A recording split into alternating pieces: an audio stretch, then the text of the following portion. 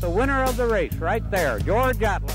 My uncle became a racing legend on a mode of transportation that served our people for generations. Today, this is a more common way we travel in rural communities. You should always wear a helmet, especially when riding a snow machine or ATV. In Alaska, one in three accidents that resulted in brain injury were a direct result of alcohol. Prevent brain injury by using a helmet. There's a helmet for every season. Drinking and riding never mix. Keep your brain safe and ride sober.